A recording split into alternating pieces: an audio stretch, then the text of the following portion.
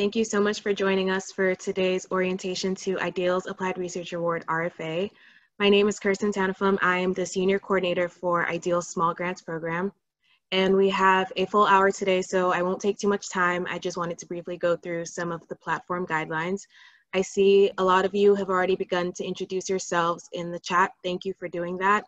We'll be using that chat box for any communications and to share resources and links during the webinar.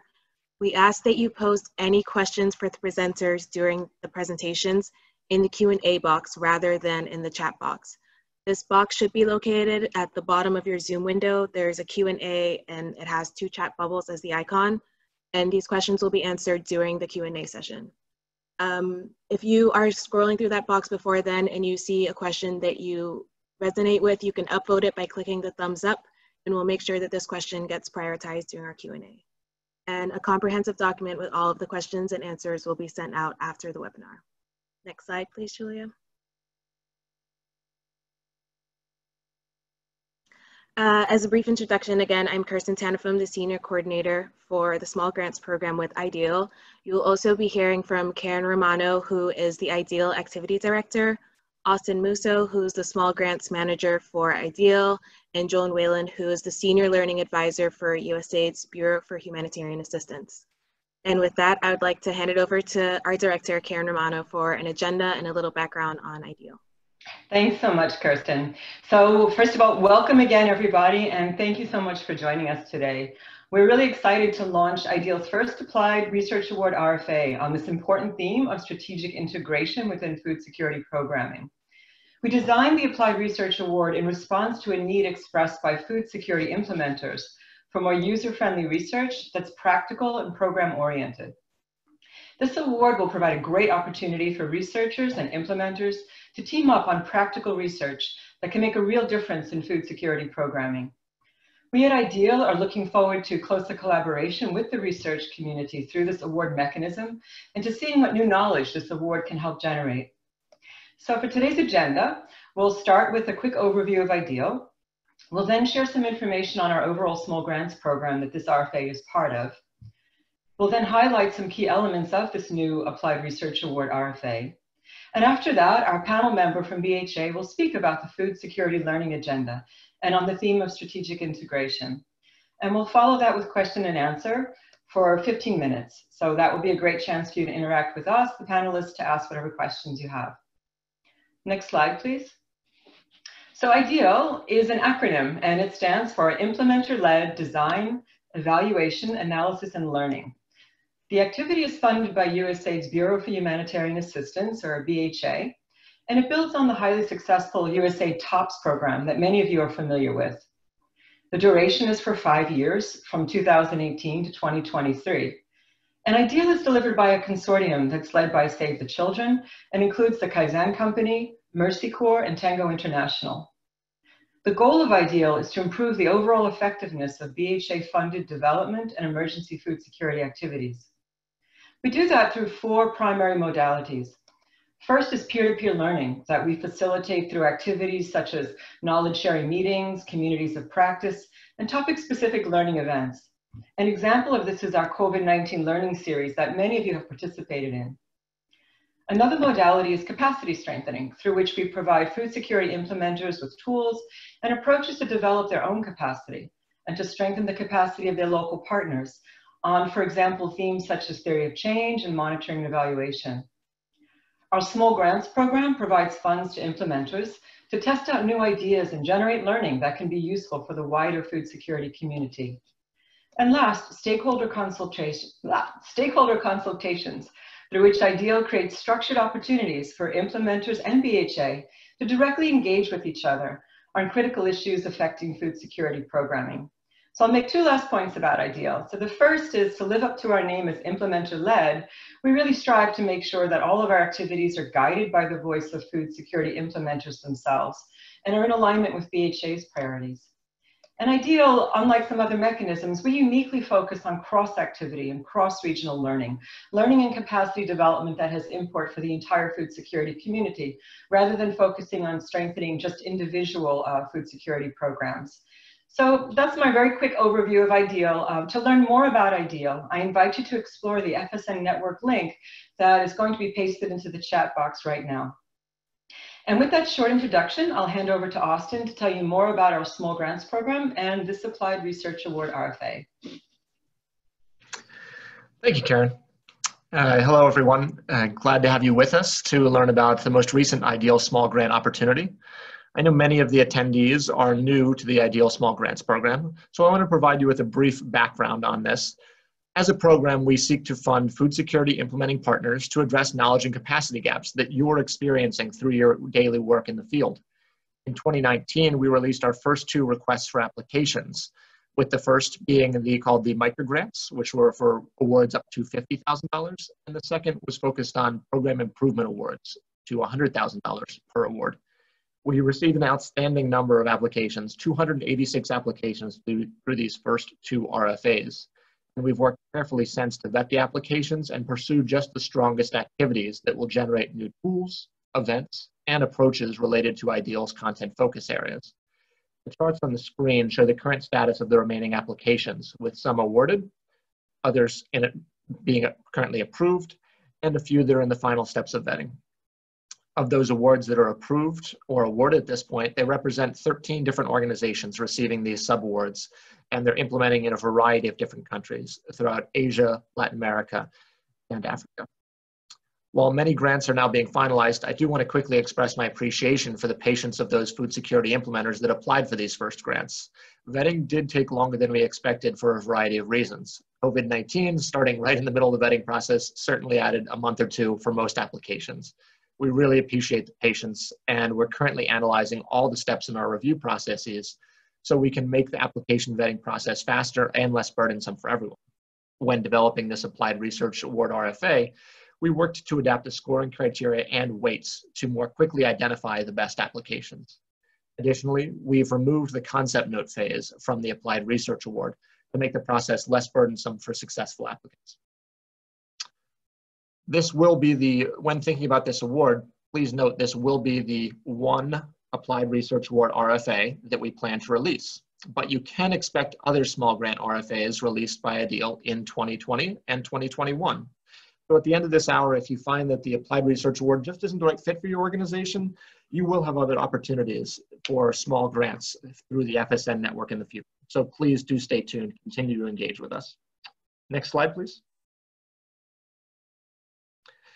So we developed this applied research award mechanism with the following goals in mind. First and foremost, we want to fund research that contributes to an evidence base for best practices in food and nutrition security programming. This is a common theme throughout IDEAL's mechanisms. We want to increase knowledge and figure out best practices. This was mechanism was specifically designed to allow sufficient resources and time for implementers in partnership with research institutions to undertake robust research and learning that's typically not feasible not feasible because of overhead funds or not feasible because of the cooperative agreements that we find ourselves in. So we allowed additional funding as well as a longer time frame, up to 24 months, to conduct this work, whereas previous awards, sub-awards through the small grants program were at a maximum of 12 months. This applied research award RFA focuses on addressing lines of inquiry around strategic integration of food and nutrition security programming many implementers out there are already working to sequence, layer, and integrate their food security activities in the field, but globally there are knowledge gaps in these areas, and we often don't fully understand what approaches are working best and why they're working most effectively. The research activities that you will develop can address those gaps by examining both past and current food security activities.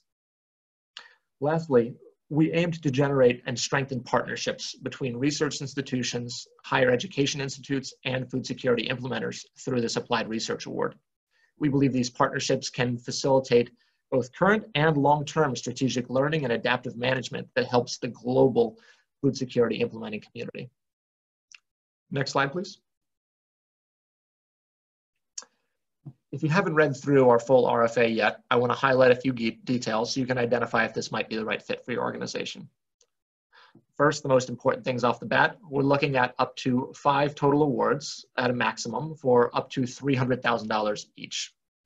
Each application will require a partnership between a food security nutrition implementing organization and a research institution or higher education institute. Definitions for these organization types can be found in the RFA. Each organization brings different strengths to play in this partnership, and we're excited to see how organizations will choose to partner around these research topics. We see the implementers bringing practical knowledge from the field, understanding what the communities really need, and helping to ground the approaches and the end results.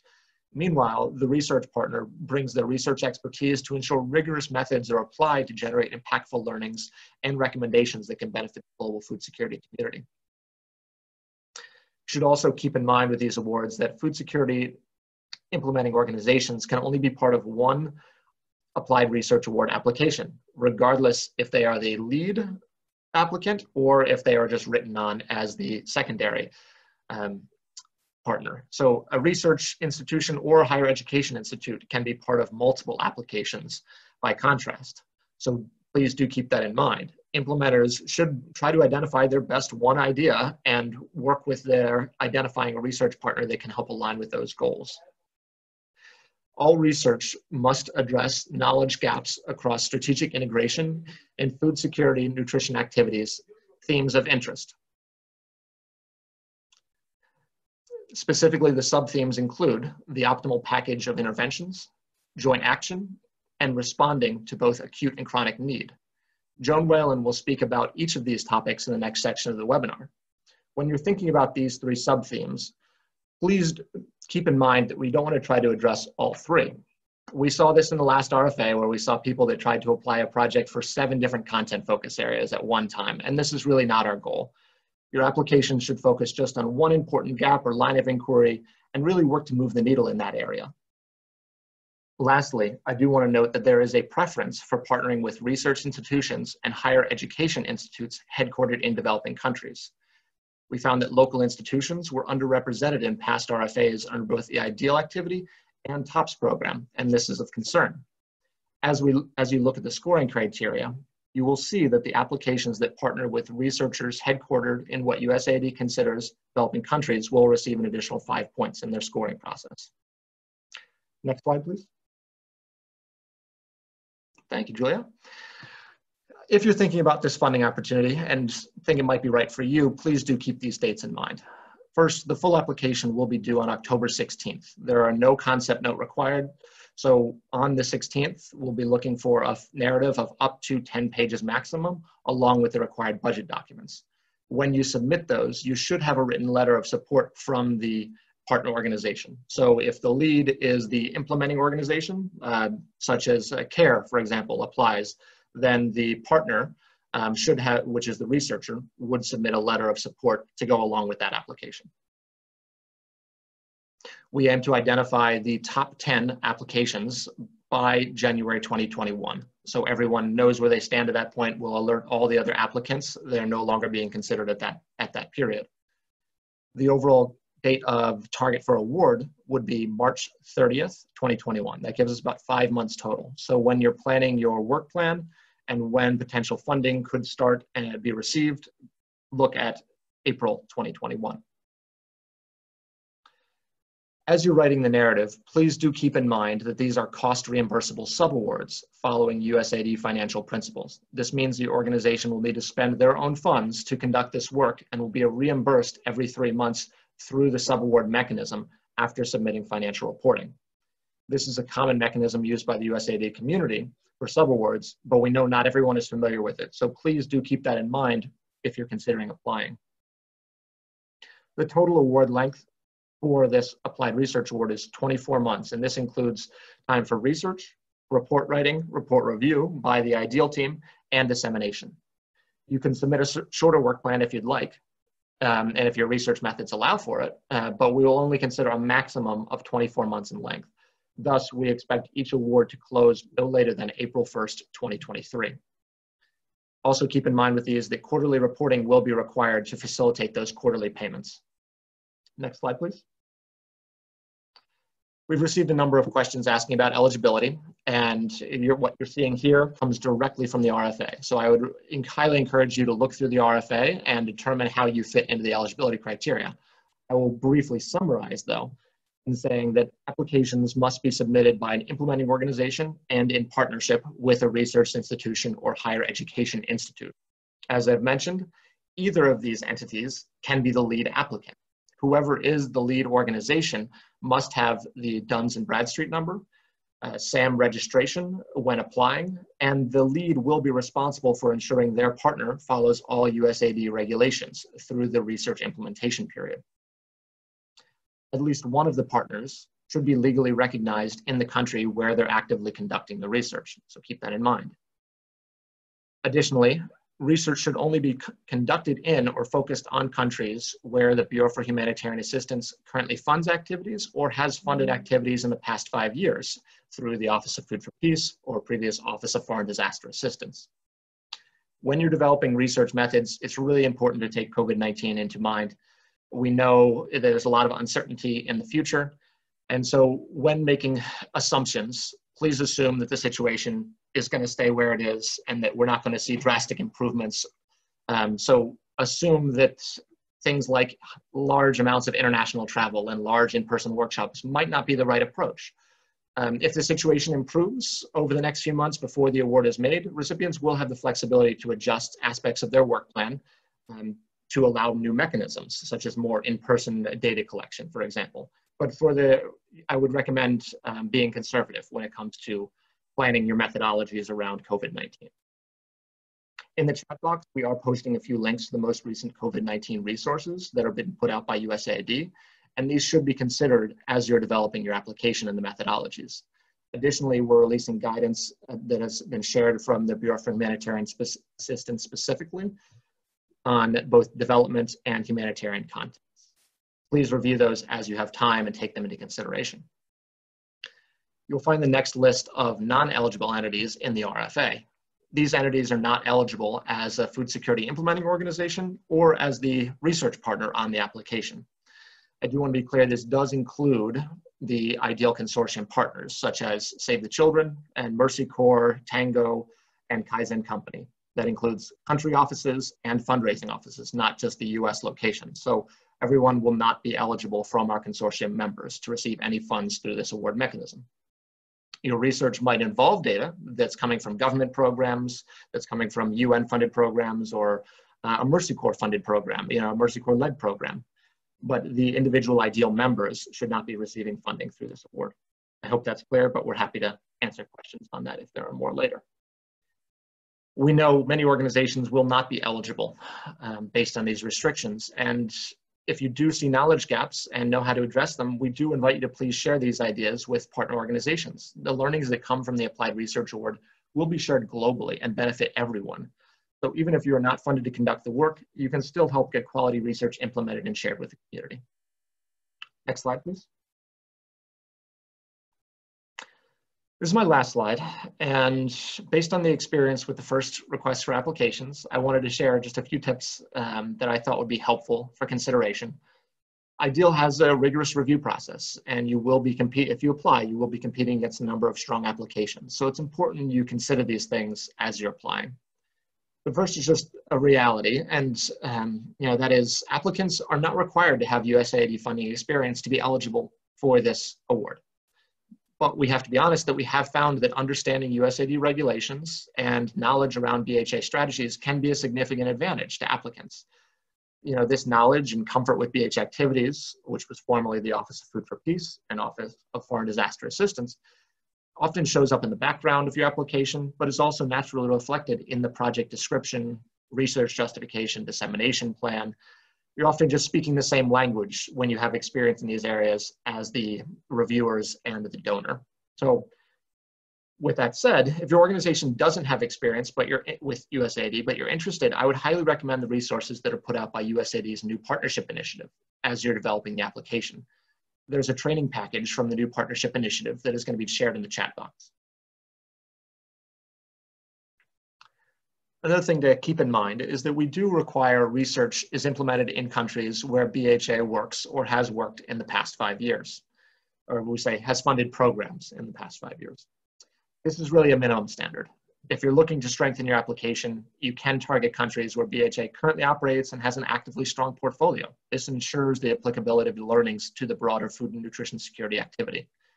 You know, you absolutely can apply for research in a country where perhaps OFDA has done one humanitarian project a few years ago, but it just might not be as strong as others that are applying in more focused areas. Third, applicants should ensure that knowledge gaps and final results that they're exploring really benefit the global food and nutrition security community. You heard Karen speak to this earlier. As with all the ideal small grants opportunities, the knowledge gain should not just help the specific grant recipient or their target beneficiaries in the community. The knowledge should really be benefiting the global food security community and help everyone to work more effectively to integrate their activities if you can uh, review the food assistance and food security agenda, which is going to be spoken to by Joan Whelan in a few minutes, you're going to naturally be on the right track because the ideas and lines of inquiry in there are all of high value to the global community. So stay close to that, and I think you'll make sure this point is hit. Lastly, I wanted to encourage everyone to explore the model of embedded research translation. Our friends at the Laser Pulse activity are leading the discussion around research translation and we believe it's extremely valuable to understand as you're developing research partnerships and composing your applications.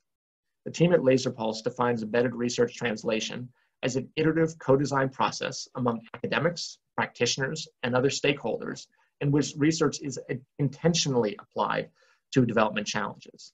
The core aspects of this can be seen in the four pillars.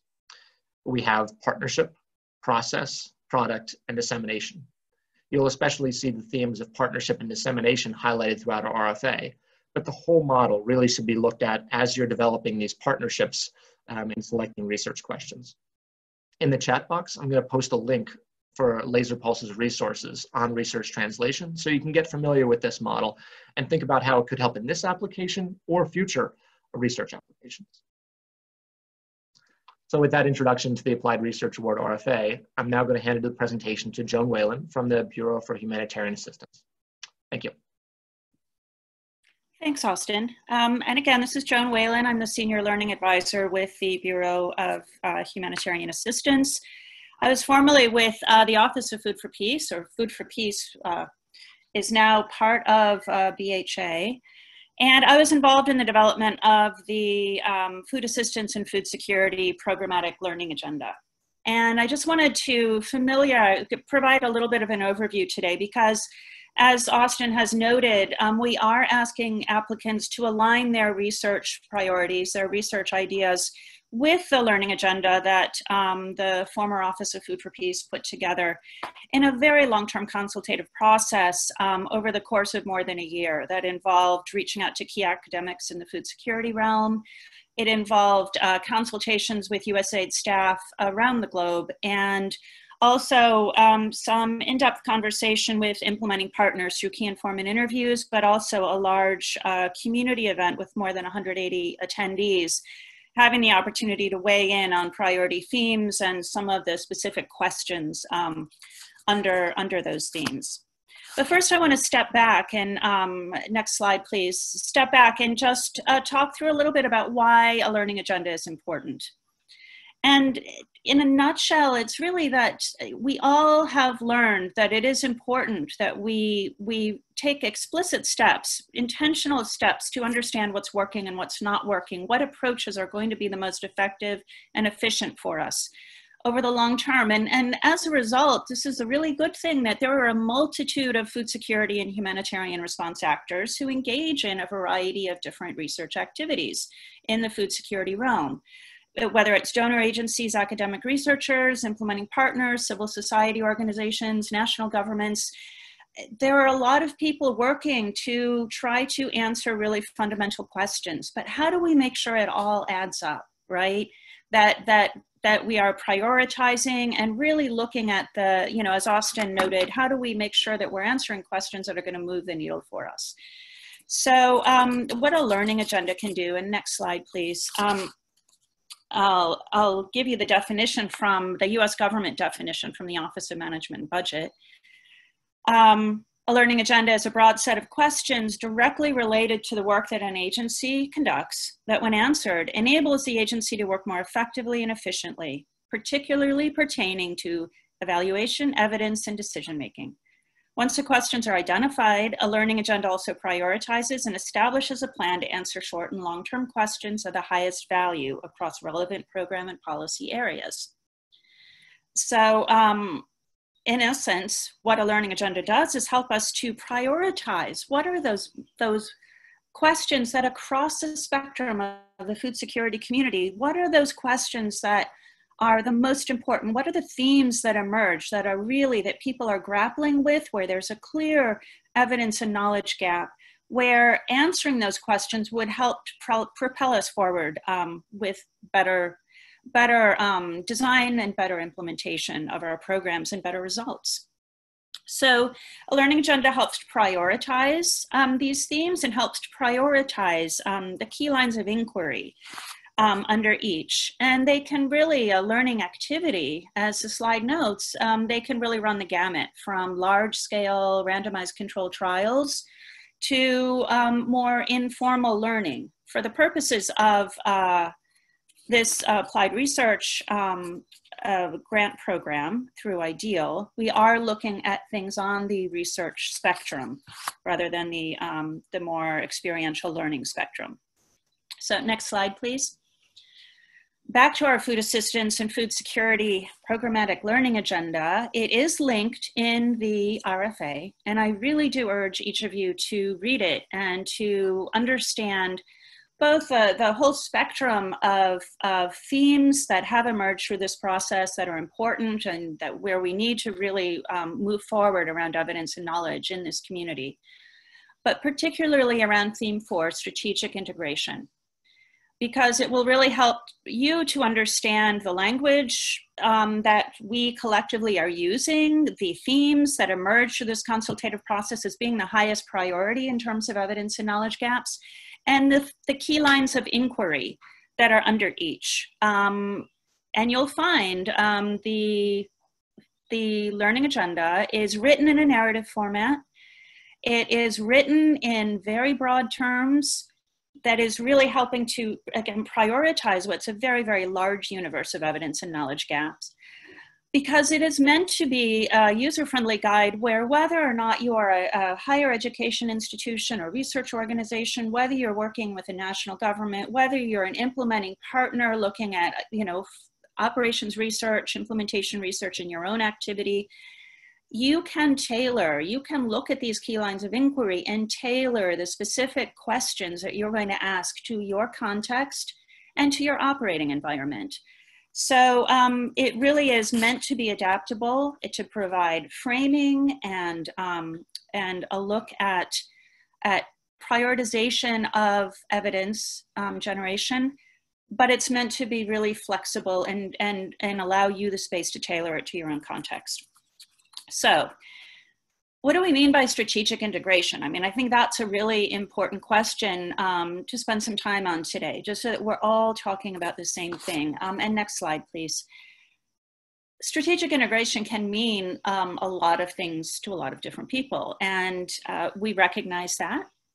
But for the purposes of the learning agenda, um, and again, you'll find this if you if you do uh, read this theme, um, we do apply a particular and very broad definition of what we mean by strategic integration. Um, those of you that work in the resilience space understand the phrase sequencing, integration, and layering. We, we intend for this uh, learning agenda theme to encompass all of these. Sequencing is, um, is really it can happen within an activity between between activities with the government but it's making sure that you um, focus on how to meet populations and their needs where they are over time and to really make sure that interventions and activities themselves are sequenced so that as capabilities emerge that that there is support to those capabilities that as new needs emerge there is support to meeting those needs. And so it's really working with populations as as um, their na- change needs change in a very dynamic environment. Multisectoral integration is um, really looking at how do we connect activities and interventions across sectors, across approaches, and really looking at, at um, you know, what is happening? How do we make sure that that working across interventions, working across sectors, that we're looking at a package of interventions that is synergistic and mutually reinforcing. And then meanwhile, layering of interventions um, allows us the space to meet acute and chronic needs within, um, within a population because the populations we work with, if you are familiar with our programs, you know that, that they are often dealing with a complex set of um, shocks and stresses they are dealing with, um, just as there are, you know, multiple opportunities to work with populations and meet their, um, their acute needs and their chronic needs both. So I'll go into a little bit more um, uh, detail about this theme. Um, something that's important to note is that under this theme of strategic integration are three lines of inquiry. And um, Austin did mention them, but let me repeat, and I'll walk you e through each of these um, in a moment. Uh, the three lines of inquiry are the optimal package of interventions, joint action, and responding to both acute and chronic need. So next slide, please.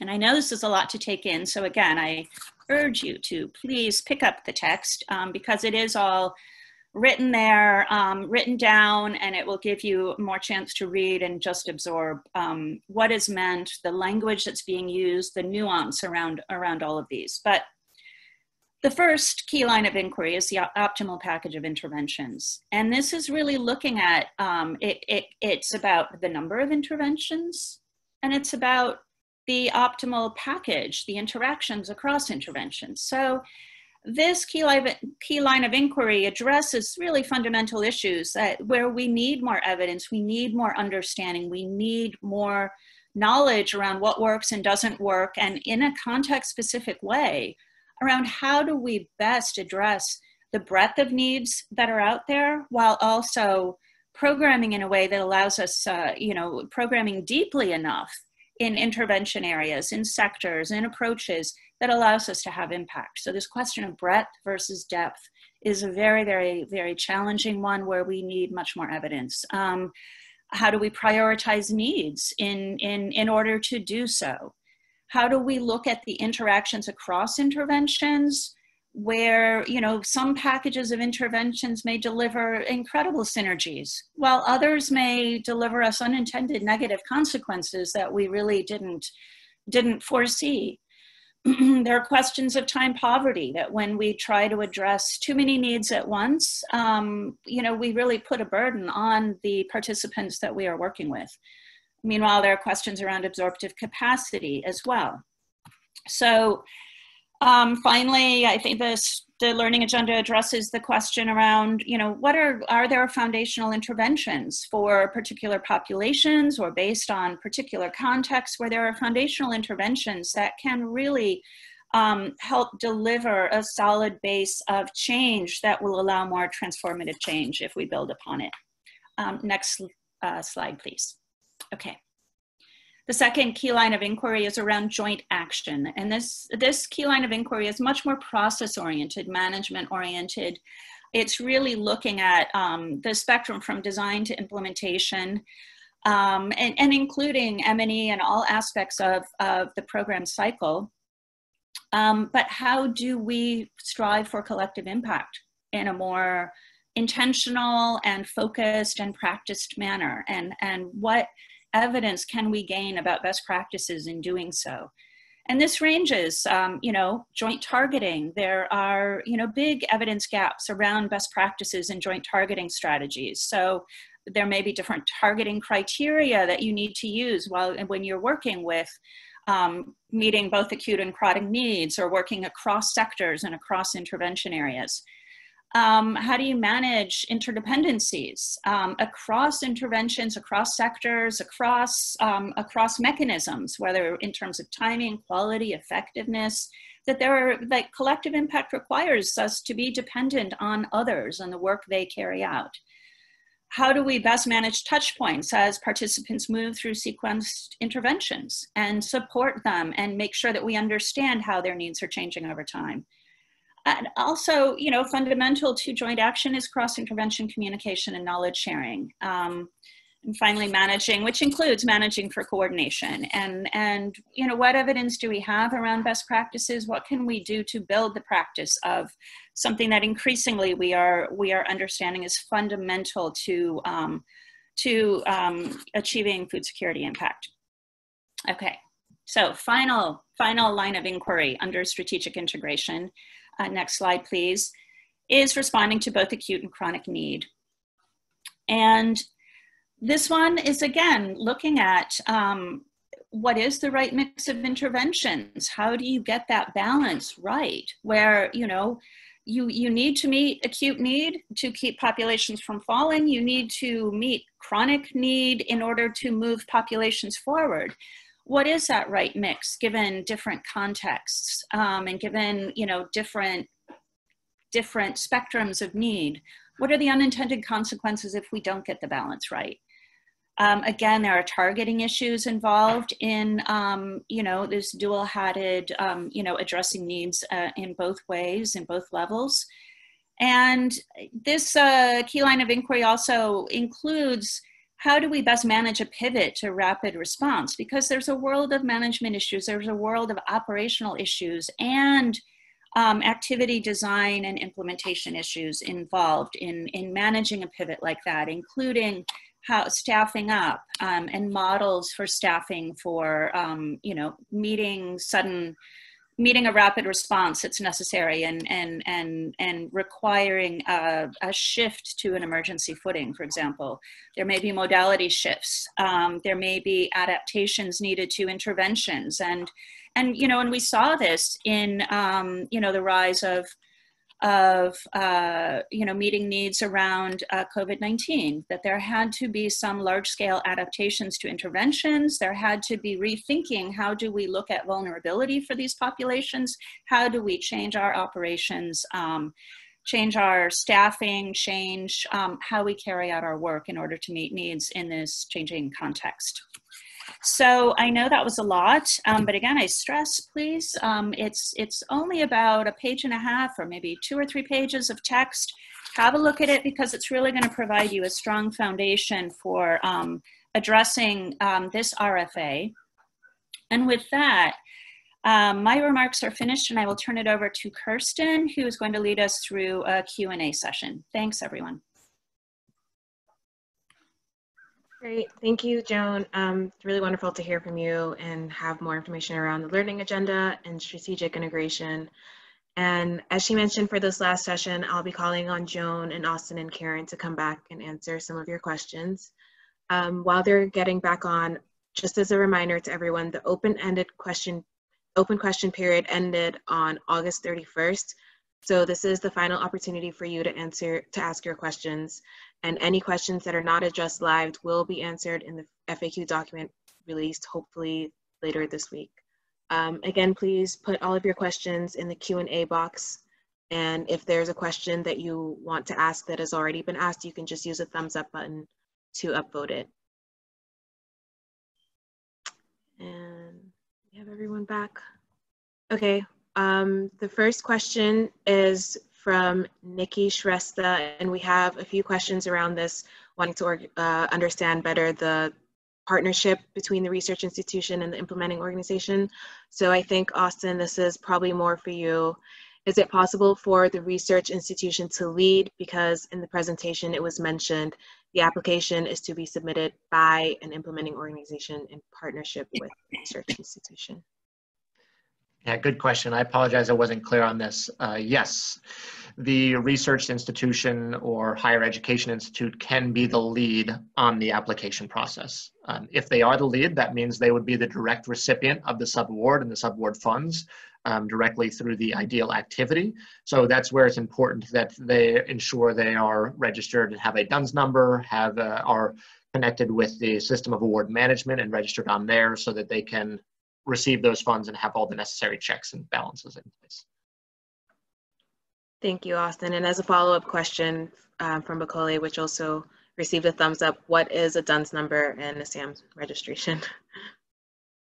Yes, DUNS and Bradstreet number is something commonly used by the US government uh, for all organizations that receive funding from them. Uh, we can put a link to the Duns and Bradstreet website, which these are free for any entity to apply for to receive them so that they can work with the federal government or receive federal government funds. Um, a similar thing for the System for Award Management. Um, uh, sam.gov, and it's another registration process that you need to go through again to be engaged with uh, funding from the US government.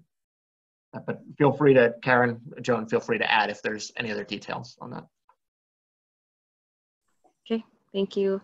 Um, again, Austin, I think this question might be for you and Karen, Joan, I'm sure you can step in, but the food security activities being studied, should they already be in progress when we apply or can the research be planned for a future program? I can speak to that, and Karen, if you want to add any more, feel free. Um, I think the original intent, the original thought behind this was, you know, given it's just a 24-month period and there's a lot of work to do, was the work would have, be, have been completed or currently ongoing, the actual activities that would be being researched. Um, I could see potential situations where something is just about to start, where the funds are committed to an activity and it's going to be researched during that, but it just makes it more complicated, obviously, during a 24 month period to make sure all the research um, is, make sure the activity is completed in that same timeline. Um, so we don't have a clear restriction on it. I would just say the original intent was thinking more past and um, current activities, but it, we're, we're open to suggestions and applications. Yeah, and I also think that with the level of funding, it just doesn't seem realistic to try to launch an intervention through this mechanism and study it in the time frame. So I think we discourage against that, but we're not completely ruling it out. Um, thank you again around the organizations. How many organizations can make a partnership for this application? We don't have an official limit on that. Um, it's obviously going to be restricted by funding and overhead resources. So it can be, yeah, a whole variety of different organizations. The minimum for a partnership is just two.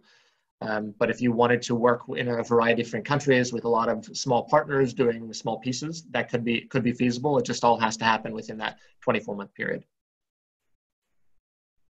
Thank you, Austin. Um, Joan, I don't know if you have any more information around this, but this question is from Daniela. Where can I find the list of countries where BHA has current or past funded projects? On usaid.gov, there is a, a page for BHA. Maybe somebody could post the link. Uh, and it's in the RFA as well. Okay. We Good. could put the link in the RFA. Yeah, good. Um, thank you, Joan. Again, around uh, this partnership, can all of the partners be in the same country or do, do they have to be? And the other question I think somebody else had asked is, um, can the submitting organization be registered outside the country where the implementation is being done? trying to think what we have written in the RFA. Um, so we'll have we'll make sure to respond to all these in full in the frequently asked questions. But based on how I'm understanding it, yes, there could be two organizations both registered in the same country if that's where the where the work is going to be done. Um, the lead organization might not be registered in the country where the work is going to be done because their partner, the research institution, is registered in that specific country and has the necessary approvals, can go through the IRB process as needed in country. So no, technically the one lead entity, whether that be the HEI, the research institution, or the implementing partner, doesn't necessarily need to be registered in the country if its partner is then registered in the target country. Does that make sense? Can I answer the question? Yeah. Okay, thank you. Um, and again, Austin, I think this is for you. Um, a question from Beata. Should the research be necessarily spread over 24 months? Can it be implemented over 18 months, for instance, or is there a preference um, for IDEAL in terms of the duration of the research? I'm going to have to refer back to the RFA. I believe we put in some guidance regarding the maximum time period for actually conducting the research because we do want to make sure to allow time for report writing, report reviewing, and dissemination. So I believe the guidance in the RFA, and you'll be, I'll be able to re reference that, I believe it's in section B, um, is speaking that actual research and data collection should be a maximum of 18 months to allow for these other actions to take place during the life of the award. Dissemination, as we talked about, um, is such a key aspect, making sure these learnings are applicable for everyone. uh, making sure you're creating a final research product. We don't want the report being written after the award officially closes out. So um, yes, the, the actual research um, it should not be 24 months because there's so many other pieces that are coming into play. Um, the research could just be, you know, the actual research and data collection could just be 12 months. It could be six months. You know, it can be a variety of different lengths that are that are required to get the work done. Karen, anything yeah. you'd add to that? Just if you look at table one in the RFA, we just we presented an illustrative timeline that seems realistic based on things like startup, IRB approval, you know, and it does seem like the window for actual data collection, analysis, et cetera, it's closer to 12 to 18 months to do all the things at the front end and the back end. But just take a good look at that table, consider it for your own context as you develop the RFA. Thank you both. Um, I'm going to leave this question open to either Karen or Austin, but it's gotten a lot of upvotes. And it's from Dan asking, could you please clarify what constitutes longitudinal research? Um, are studies that primarily seek to compare different interventions or exposures but include before or after analyses acceptable. For example, if a project were to test different interventions in different districts and took measurements before and after the different exposures in each district, would this constitute a longitudinal study in IDEAL's view? Is this design acceptable? Yeah, so Dan, we, we saw this question. I believe you guys submitted it as well by email. Uh, this is something we need to explore a little bit further in the RFA, we said that might not be suitable for this type of longitudinal research. I think the original idea was just thinking of timelines, how this would be done for a longitudinal study. But given, given the questions being asked, we realize we need to explore this more closely with our research advisors. So we'll have a full response to that that's going to be submitted through the frequently asked questions. I don't want to try to approach it here and say something inappropriate. So thank you for your patience. I, I would just interject, at first glance, it does not sound like he was describing longitudinal research, um, which my understanding is that that would require um, going back and, and gathering data from exactly the same population that was um, that was um, contacted at the beginning. But uh, uh, before and after, taking measurements before and after um, targeted interventions in targeted areas, um, it, that design itself is, of course, um, acceptable. Maybe can we get more clarity on the use of longitudinal in the question then? Because yeah. pre-post is expected, but what's the, how are we differentiating that from longitudinal? You're asking the, the participant who asked the question. Yeah, yeah, yeah. Or if the questions, because I know we had how the question was phrased. We can't see it, um, but how the question was phrased, does it give us some more insight into the how they're defining longitudinal in the question? Yeah. Okay. Yeah, I agree. Dan, I don't know if you want to add on to anything. While we wait, mm-hmm. um, there's a question from Mara Russell, which again, I'll leave open to you. Is it possible to conduct research work on a project not, not funded by BHA as long as the research is in a country where BHA has had a project in the country over the past five years? Uh, yes, there's. We haven't set any restrictions on uh, who has funded the activity, um, but obviously making sure it was done in a BHA country, making sure the model and the approach that's being used are similar to what's being done by the BHA and USAID are obviously really important points to make sure the learnings are applicable um, and can easily be applied to the, the community. But yeah, so DFID funded, Gates funded, we, we have not set any restrictions on that point.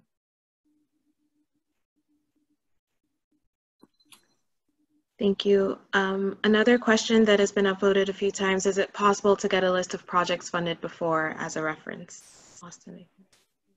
So this RFA is rather unique. We haven't funded, we haven't done an applied research where in the past we have done the micro grants and the PAAs, as I mentioned earlier, but they were uh, very different, much more targeted, not going after necessarily a research question in the same manner. I don't think they'd necessarily be applicable, but with that said, we are working to get those online. We do release these through the newsletter when awards are made. So if you follow the newsletter, you will see some updates, but unfortunately there's not, we, since we haven't done this mechanism before, there's not a list of things that are, that are going to give you good examples of it. I just have to reference, reference the RFA and, and especially some of the comments that Joan has made when thinking about um, the aspects of the learning agenda that we want to try to address. Okay, and we've got a response from Dan. He said, it sounds like from Joan's definition, a study that collects data pre-intervention and post-intervention would be okay. So I think our question was answered. Thank you. Yeah, but it makes me wonder how we define longitudinal in the RFA. So maybe we have to take a quick look at that and be sure that we're clear and we're not confusing people. So when we do that, we, we might issue a further clarification in the uh, frequently asked questions. So thanks for the question, Dan. Thank you. Um, I think there, I don't know if this has been answered clearly enough yet, but I'm just going to put it out there again so people can have more clarification if needed but it's again around the partnership between the research and development NGO. Um, I think this is the most, could they have more of an explanation about this? Should the partnership comprise of each organization from the list that's a security, food and nutrition security program implementer and an established research team from a higher education institute? So a partnership just has to involve two different entities. Um, so we said one is a food security implementing organization, eh, or that's their primary focus as an organization. And then one would be this research partner. And as that research partner, we've said that is a higher education institute or a research institution. So it just needs, you know, one food security implementer and then either an HEI or a research institution. So that would be kind of the minimum partnership. Does that address the question? I can't see it, Kirsten. I think I think so. Yes, and somebody had a similar question around um, how the partnership would work if one of them was located in a developing country and the other one was located in, for instance, the UK? I think it's fine. Yeah. Yeah. I mean, there's no restriction, right, Austin? There's no restriction on that. Yeah. Okay. Um, let's see. A lot of these questions are quite similar to that.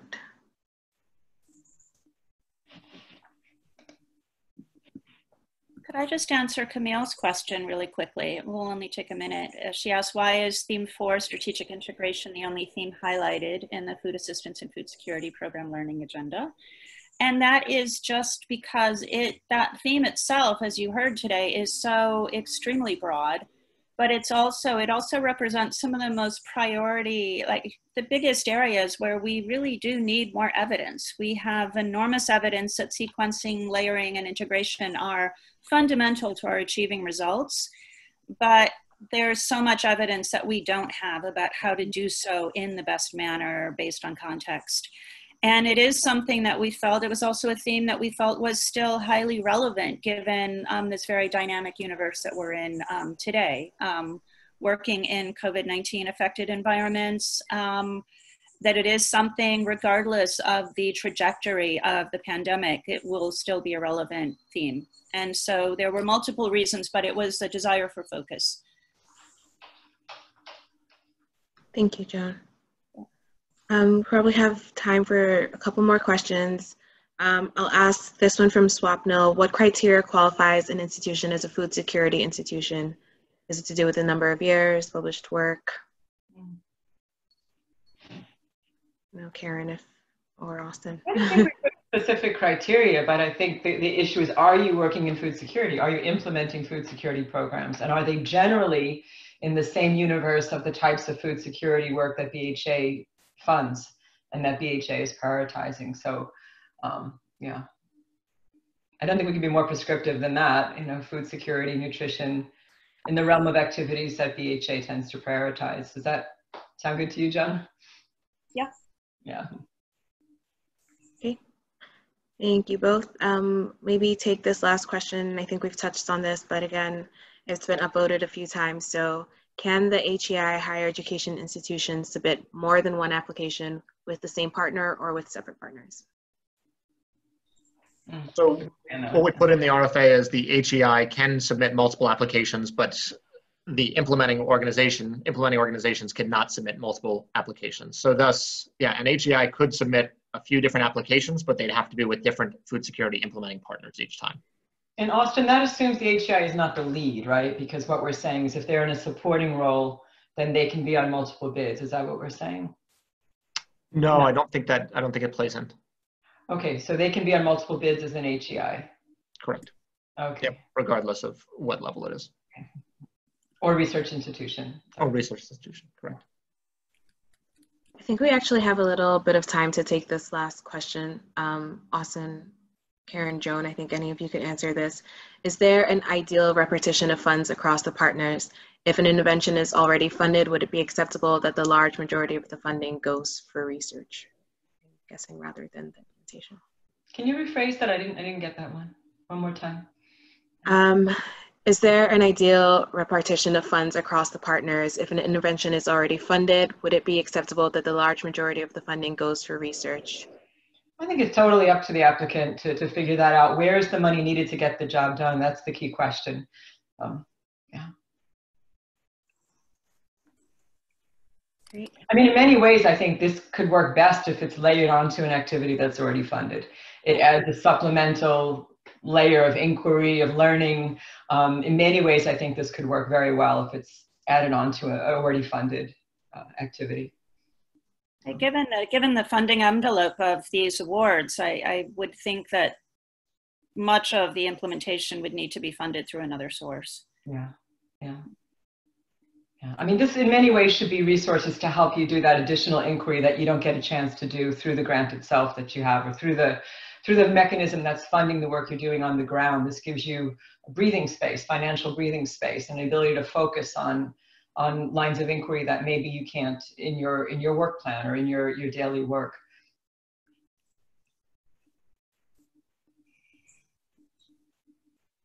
Wonderful. Well, Kirsten, thank you for arranging that session. I think that's all the time we have to dedicate today. Uh, if we didn't get to certain questions, uh, they will be answered in the frequently asked questions document. Additionally, any questions that were emailed uh, to the research underscore ideal address will also be answered in that document. So when will we be releasing that document so people can keep their eyes out for it? Yeah. Thank you. Yeah, so uh, we're looking and by the end of the week is our target uh, for releasing that. But obviously, we've got a few more questions that we need to think through and make sure we get that all out to you. Um, I say thank you for your patience. We are figuring some of this out as we go. That's why we can't always answer your question definitively, but we will by Friday. So stay tuned. Mm-hmm. And people have been asking about a recording, and yes, the recording of this presentation will be made available, um, will be posted as well this week, um, so you can rewatch or share. Before you leave, we'd really appreciate your input on the event.